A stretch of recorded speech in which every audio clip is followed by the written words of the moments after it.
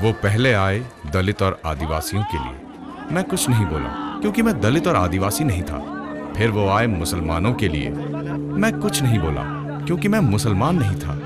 फिर वो आए ईसाइयों के लिए, पर मैं कुछ नहीं बोला, क्योंकि मैं ईसाई नहीं था। फिर वो आए सिखों के लिए, और मैं कुछ नहीं बोला, क्योंकि मैं पिछड़ी जाति का हिंदू था। और फिर वो आए मेरे लिए, लेकिन उस समय वहाँ कोई नहीं बचा था मेरे लिए।